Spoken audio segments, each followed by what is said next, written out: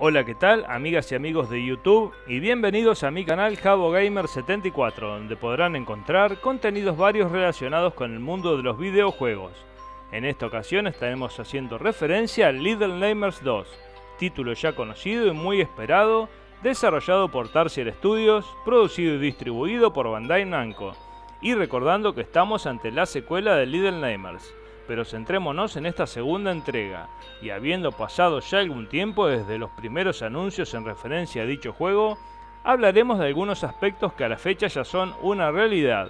Si bien ya es más que sabido que esta nueva y terrorífica aventura será en tres dimensiones y que nuestro protagonista será Mono, quien estará en compañía de Six, la chica del piloto amarillo, y protagonista de la primera entrega, la cual en esta ocasión estará controlada por la inteligencia artificial conociendo ya algunos de los peligrosos e implacables enemigos a los que deberemos enfrentar, los cuales serán la profesora, el cazador y Thin o más bien llamado el hombre delgado o el locutor, de los cuales tenemos un video informativo que se los dejo por acá arriba.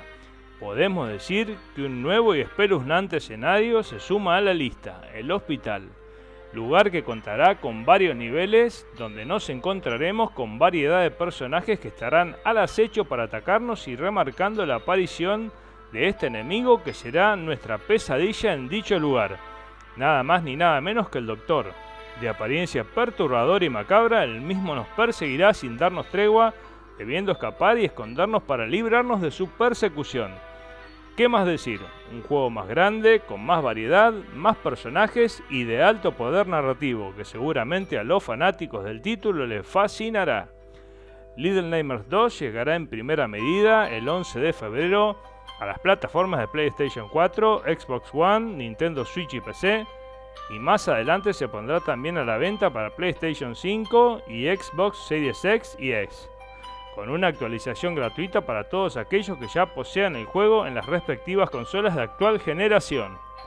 Amigas y amigos, no dejen de suscribirse al canal y sigan disfrutando de nuestro contenido. Los saluda Javier y hasta la próxima.